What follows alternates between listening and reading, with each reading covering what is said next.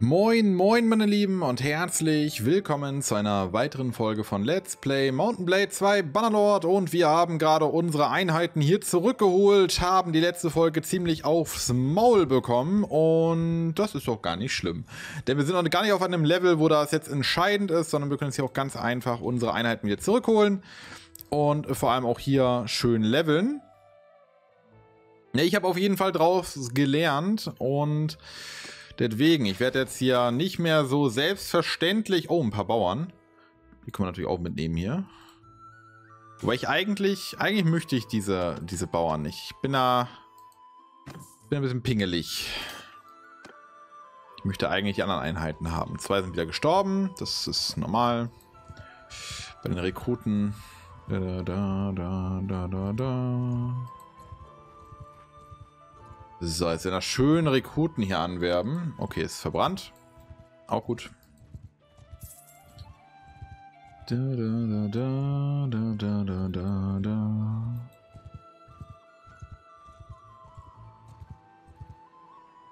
Oh. Ist das wenigstens nicht verbrannt? Jo, sehr schön. Da gab es dann gleich ein paar mehr. Jetzt sind wir schon wieder bei 19. Also ihr seht, das geht auch relativ schnell dann wieder mit dem Anwerben. Das ist gar nicht so langwierig. So.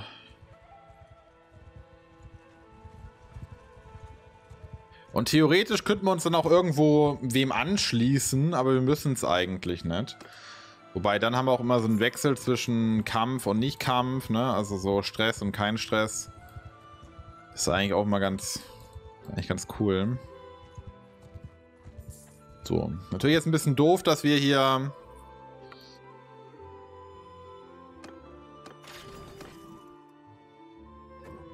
So.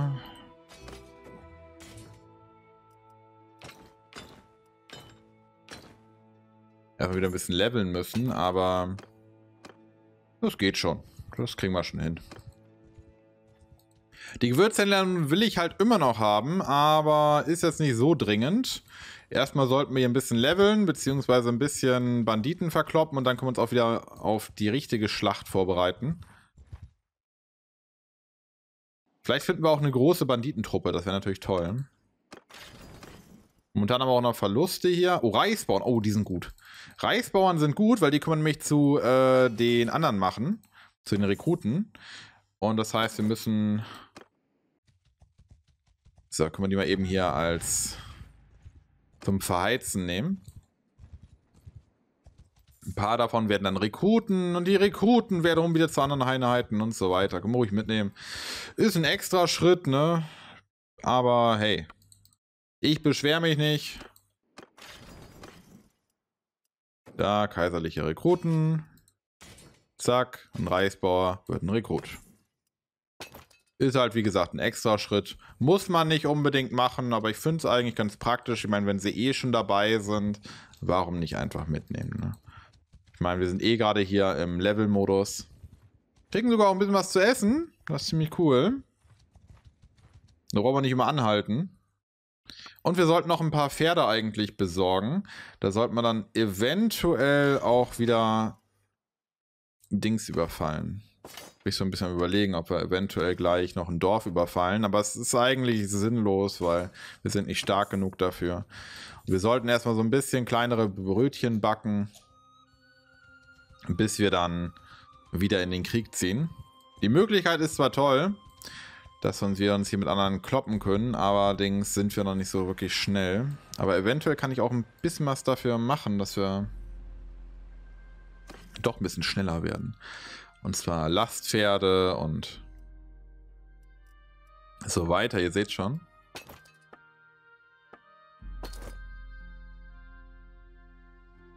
So, jetzt haben wir nämlich ein paar Pferde extra. Und das glaube ich auch ganz nützlich. So. Dann gucken wir mal, wo wir hin müssen hier. Wir haben natürlich jetzt auch wirklich mit einem Krieg, äh, mit einem Gebiet, was recht stark ist. Die sind halt wirklich stark, diese verdammten Kavallerieviecher. Hm, Jetzt sollte man es doch wie anders anschließen, aber... Hm, na, ich glaube, wenn wir jetzt rausgehen, dann werden wir nicht, sag ich mal, mit Ehre entlassen, sondern eher als Feigling, weil wir noch nicht so viel geleistet haben. Deswegen müssen wir da noch so ein bisschen mitkämpfen. Finde ich eigentlich auch angebracht. Nur weil es jetzt ein bisschen härter ist, müssen wir nicht gleich aufhören. Aber wir können uns nochmal Dings merken. Hosenfulk. Dann können wir eventuell da mal so ein bisschen in die Nähe gehen. Gehen wir mal, ich würde sagen, dann gehen wir erstmal hier hin. Schauen wir mal ein bisschen.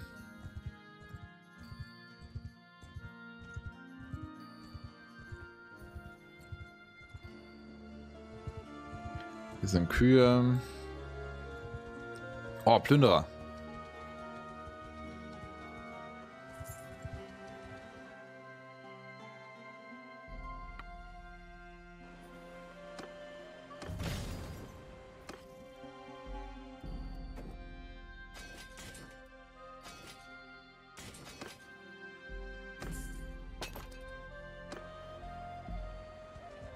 Was haltet ihr eigentlich von den Reichsbauern? Nehmt ihr die mit oder lasst ihr die einfach weg? Weil es ist halt so ein extra Schritt, wo wir die dann an, ne, also leveln müssen, aber ich weiß nicht, wenn sie jetzt so mit dabei sind, ja, sind ja eigentlich so gesehen Rekruten, ne? Zwei Tote wieder. Aber wir leveln gerade dafür ziemlich gut.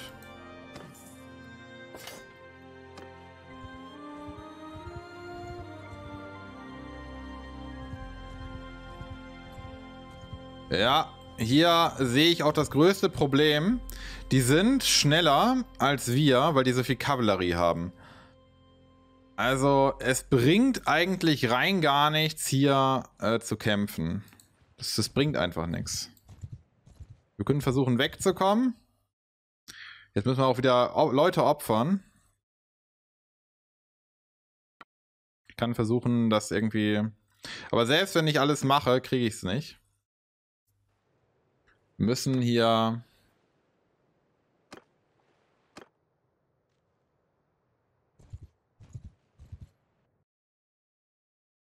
Ja, ja, bla bla.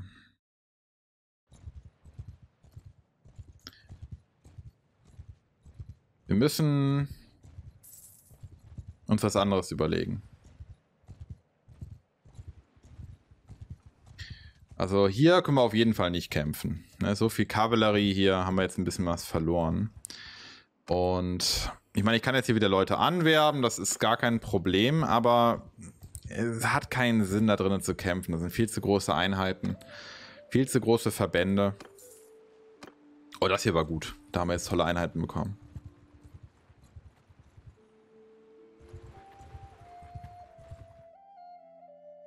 Und, oh, ja, haben sich alle zusammengeschlossen hier. Ich glaube, da kämpfe ich sogar selber. Aber wir, ne, wie gesagt, ich habe jetzt für mich erstmal beschlossen, dass wir jetzt erstmal keinen Krieg mit denen machen werden. Wir haben nicht so viele Einheiten. Also wir haben eigentlich nicht so viel Verlust gemacht, weil wir gerade ziemlich viele gute Einheiten angeworben haben. Aber hätte halt nicht sein müssen. Trotzdem, wie gesagt, nicht so viel Verlust. Das geht noch, finde ich. Hm. Das sieht auch noch so aus, als ob wir da ein paar gute Einheiten dabei hätten.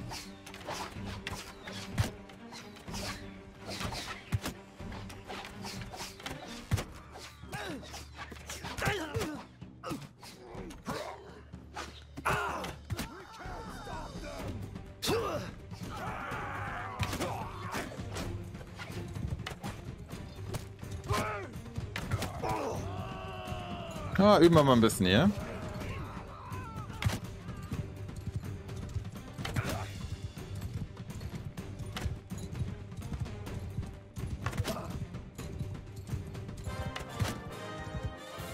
Wie habe ich den denn getroffen? Mhm.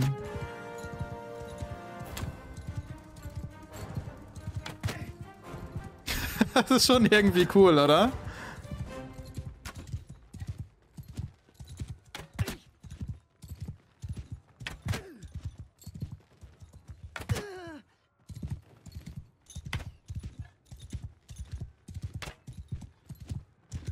Hm. Okay.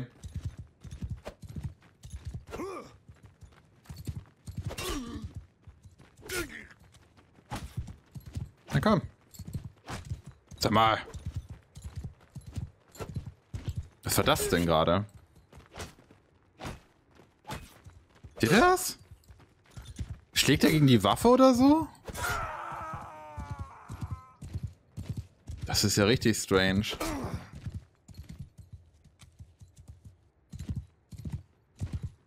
Ich muss auch auf jeden Fall noch eine neue Waffe machen hier. Weil die Waffe hier ist echt doof.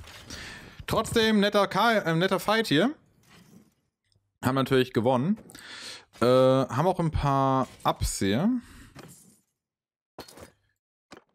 So, und jetzt würde ich sagen, müssen wir natürlich erstmal so ein bisschen noch Leute anwerben und wir bauen uns vor allem eine schöne Stangenwaffe. Das ist ganz, ganz wichtig. So, Schmiede betreten, endlich meine Stangenwaffe bauen und hier haben wir so ein bisschen was dabei. Hm. Ich hoffe, die haben hier bei den Waffen was zum Einschmelzen. Ja, hm, nee, kein guter Wurf, keine guten Wurfmesser hier, die man einschmelzen könnte. Wobei ich nehme mal eins mit. Und wir holen die mal ein bisschen Dings hier noch. Haben die kein Holz hier? Was ist das denn für ein... Was ist das denn für eine, ein doofes Gebiet hier? Die haben nicht mal Dolche und vor allem haben die nicht mal Holz. Das ist ja mal richtig bedenklich.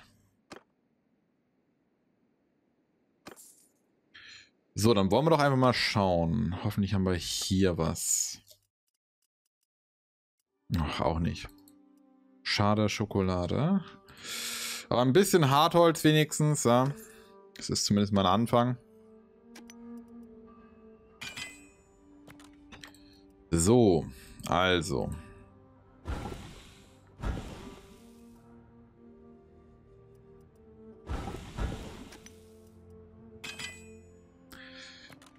Also, dann gucken wir mal nach einer 2H.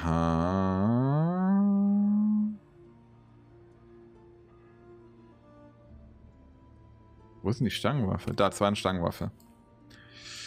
So, dann schauen wir mal, was wir hier herstellen können. Aktuell irgendwie so ziemlich gar nichts.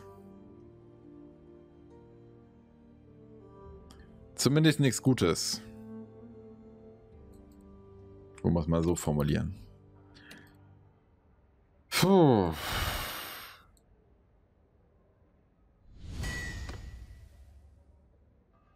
Irgendwas freigeschaltet?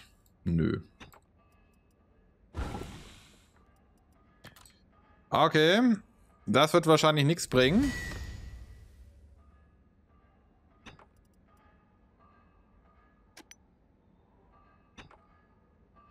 Ich habe das Gefühl, das bringt nicht viel.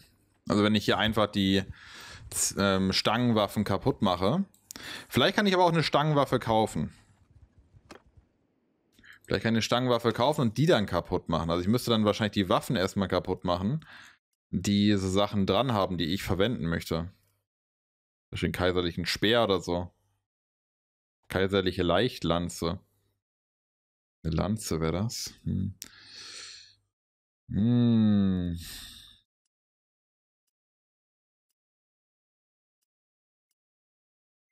Ich glaube, das ist auch in der gleichen Kategorie.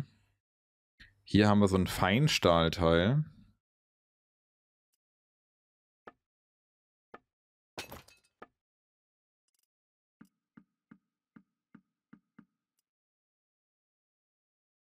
Ich bekomme 1000. Dann würde ich mir die Feinstahl noch gerne einsacken. Und dann würde ich sagen, Schmiede betreten. Und wir schmelzen das mal ein. Und wir haben, oh ja, zwei Angriffe aus Leder. Dann können wir eben kurz schauen, dass wir hier noch ein bisschen Hartholz bekommen. Da da da da da da da da da da Lehm, Getreide. Ihr seht wenig Hartholz hier in der Nähe.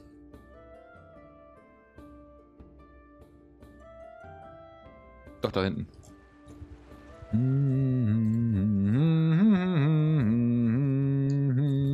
Plünderer.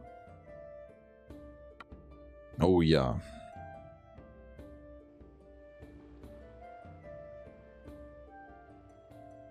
Ja, ich würde sagen Angriff, weil da, ne, ich will keine Toten riskieren. Also ich, ich kriege wahrscheinlich auch so einen Toten, mal gucken. Aber...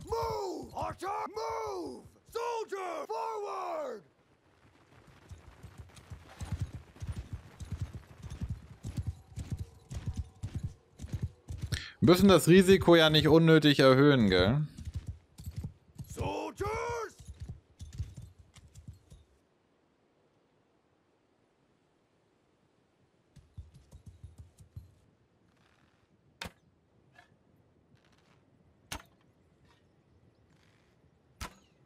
Oh oh. Also treffen ist mit dem Bogen wirklich schwierig. Ich brauche dringend einen neuen.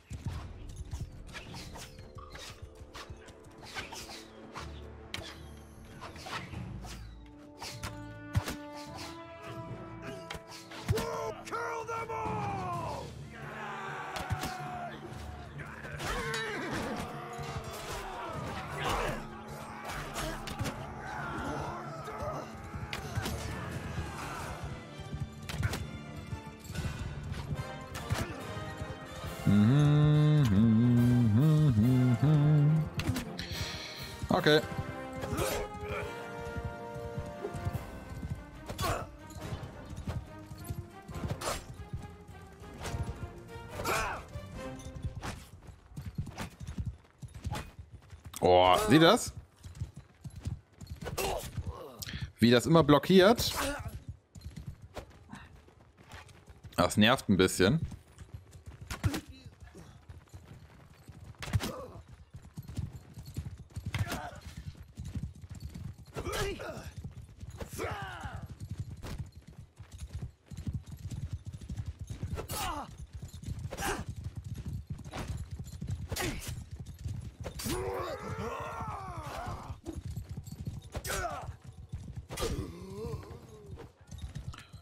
Ich würde sagen, das war's. Und wir haben keine Verluste gemacht. Deswegen hat sich schon gelohnt, hier mal kurz zu warten. Beziehungsweise, ich meine, hier mal sich die Zeit zu nehmen und up, da einfach mal reinzugehen. Zwei sind entkommen, ist aber egal. Ähm, Hartholz war hier vorne, genau. Können wir eben rübergehen und Hartholz kaufen und das dann auch gleich verarbeiten. Äh, Kaiserreich, wird es die Herren erlauben, Handelsgebühren, bla bla bla. Okay, für mich uninteressant. Ähm, Getreide ein bisschen und vor allem Hartholz hier. So, würde ich sagen, können wir den auch gleich mal hier ein bisschen was zurückgeben. So. 200 gezahlt. Aber dafür haben wir jetzt ordentlich Hartholz bekommen. Momentan, Märkte ist es noch relativ hart für mich, klarzukommen. Also viele Sachen sind für mich einfach verdammt gefährlich. Vor allem der Krieg gerade ist sehr unbequem für mich. Und ja, das hat auch nichts gebracht. Habe keine Lanzen bekommen, keine Stangenwaffenkram. Leider Gottes. Nichts Gutes. Okay, ich würde sagen, dass wir einfach den, das Zweihandschwert nehmen. Mit dem Zweihandschwert kann man gut leveln. Das müssen wir. Wir müssen gut leveln.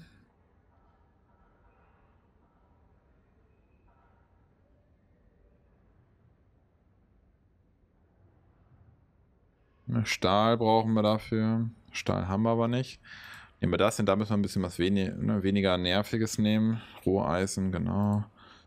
Können wir das hier nehmen?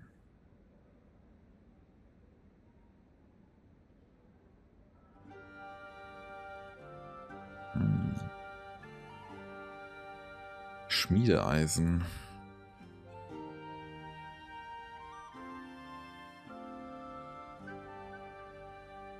Okay. Ist nicht sonderlich schwierig, leider. Und wir müssen uns ausruhen. Dann können wir vielleicht noch ein bisschen drüber nachdenken, was wir jetzt machen. Also, einschmelzen lohnt sich aktuell nicht wirklich. Dafür haben wir den Den Stuff da nicht. Hm.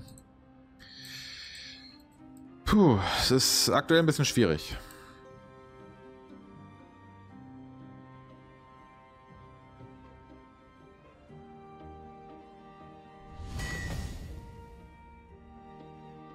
Langer Griff zum Verstecken.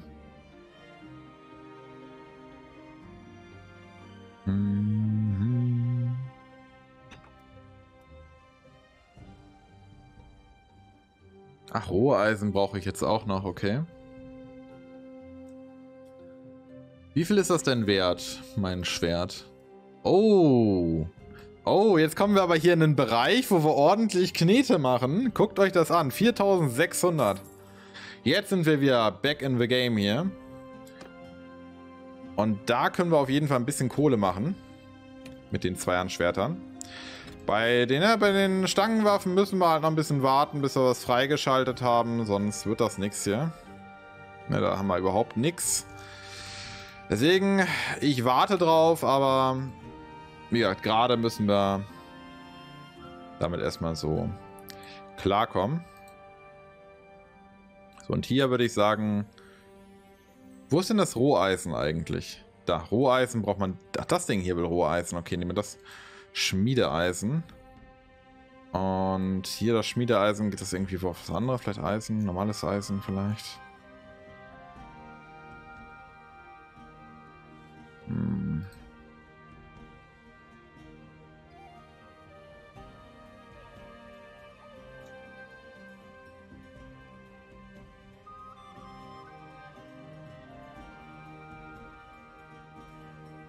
Hm. Okay, muss man eben kurz Roheisen holen. Das kriegen wir, glaube ich, hier auch. Da, da, da, da. Eisenerz.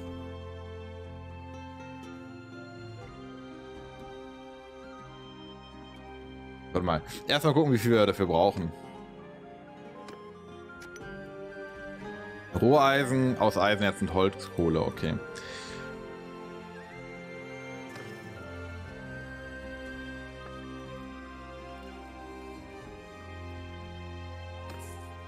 Das Geld haben wir jetzt eh. Von daher ist es nicht so schlimm. Und jetzt können wir es auch herstellen.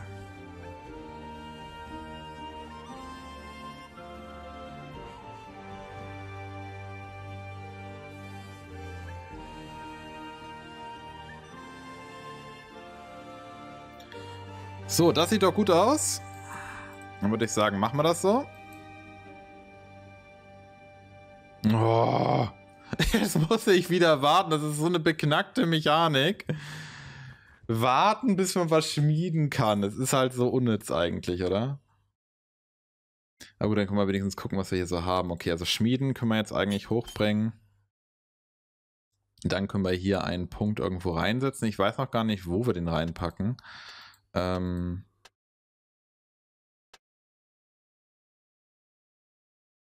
ich glaube, STR wäre ganz wichtig, wenn wir nachher hier wirklich weiter wollen. Ne, wenn wir hier noch irgendwo tiefer rein wollen, dann wird es schwierig. Aber müssen wir denn hier?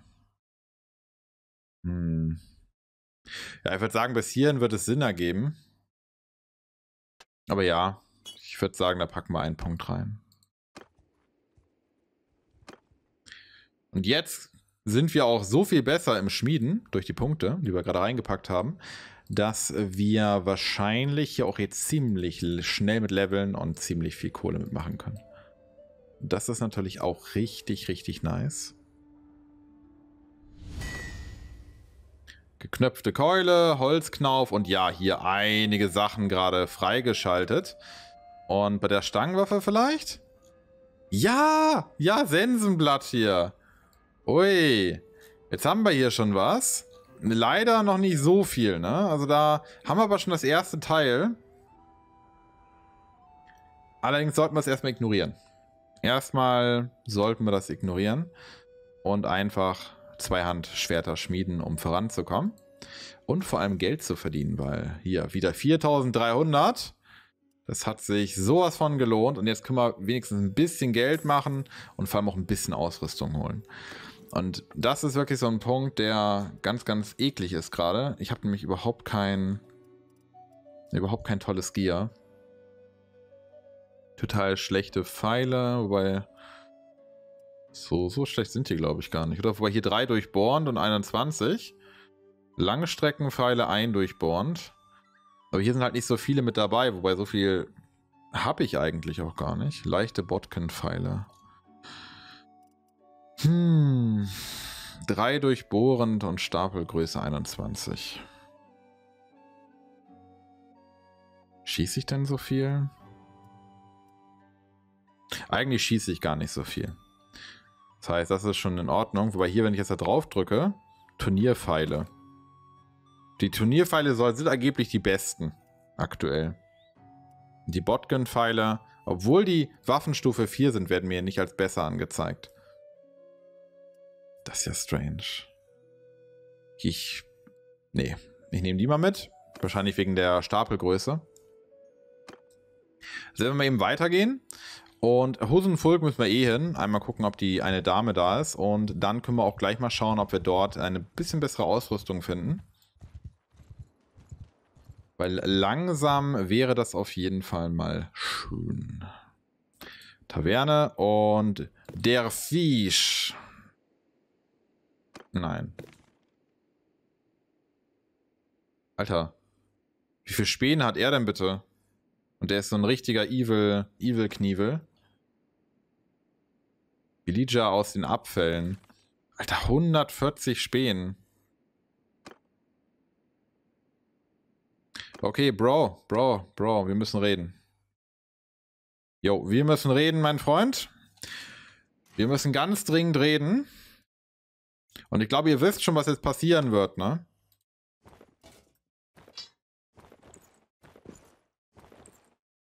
Das ist mein Pferd. Wir müssen mal eben kurz ganz dringend reden, mein Freund.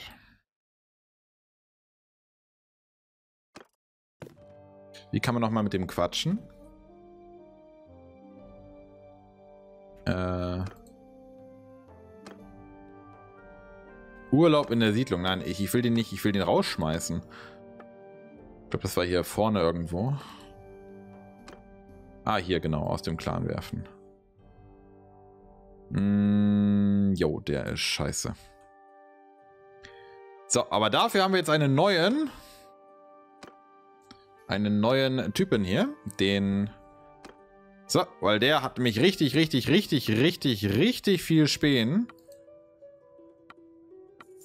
Jo, komm rein. Das ist unser neuer, neuer Bro. Falls man das überhaupt noch sagt. Und ja, das freut mich auf jeden Fall hier. Der Bilija aus den Abfällen. Klingt zwar nicht sonderlich nett, aber das passt schon. Bei den Wanderern, die Würzhändlerin, Gewürzhändlerin, die war heute angeblich auch wieder in Hosenfolge, aber ich sehe die da nie. Ich, ich glaube gerade, ich glaube manchmal, dass es die gar nicht gibt. Oh, hier, die, die ist auch nicht schlecht, mit 100 Taktik. Aber die hier würde eine gute Anführerin machen. Sieht ein bisschen strange aus, aber...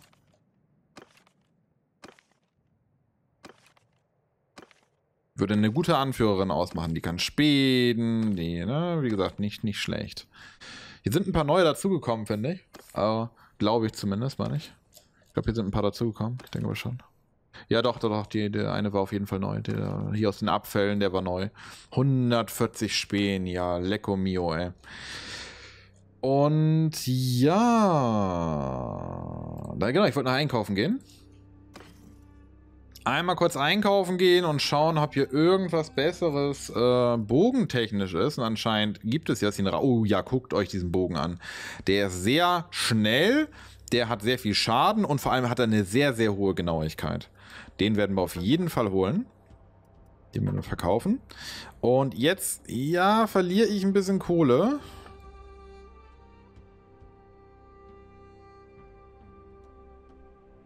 Äh, ja, egal. Jetzt habe ich erstmal einen neuen Bogen. Neuer Bogen ist schon mal sehr cool. Aber ich wollte mal eben kurz hier noch ne, sagen hier. Verbesserung, damit wir dann erst verkaufen.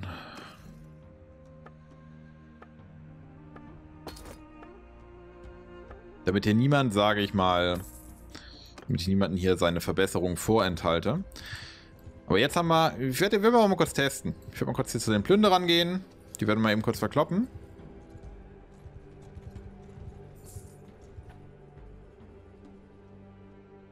Weil ich möchte einen neuen Bogen testen. Das nehmen wir hier auf jeden Fall noch in die Episode mit auf. So. Äh. So, jetzt können wir mal kurz den Bogen testen.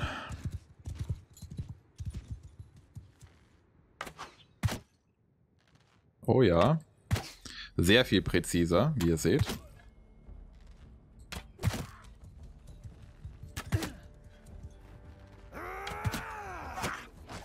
Jo, der ist auf jeden Fall besser.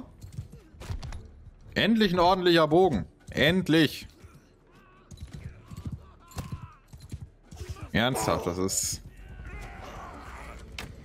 Ihr wisst ja gar nicht, wie sehr ich das vermisst habe.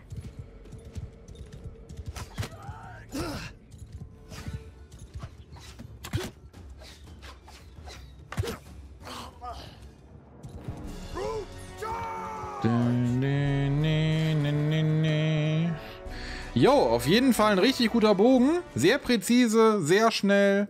Genau das, was wir haben wollten. Beziehungsweise das genau, was ich haben wollte. Und was wir brauchen vor allem. So, damit wir auf dem, ne, auch ein bisschen nützlicher werden mit dem Bogen, weil vorher war ich ja irgendwie, ja, habe ich gezielt und habe irgendwo nach Afghanistan geschossen und das braucht natürlich keiner. Und ja, ich wünsche euch auf jeden Fall noch einen wunderschönen Tag. War auf jeden Fall eine coole Folge und vor allem sind wir weitergekommen und sind jetzt beim Schmieden auch so richtig erfolgreich. Nur 43 schon. Und dementsprechend werden wir da bald auch wieder ein bisschen mehr freischalten und dann halt auch endlich eine Stangenwaffe bauen können, die ja, ein bisschen besser ist. Beziehungsweise könnten wir die vielleicht schon machen, aber das machen wir in der nächsten Folge. Also, bis dahin, ich wünsche euch was und wenn es gefallen hat, Däumchen nicht vergessen. Tschüss.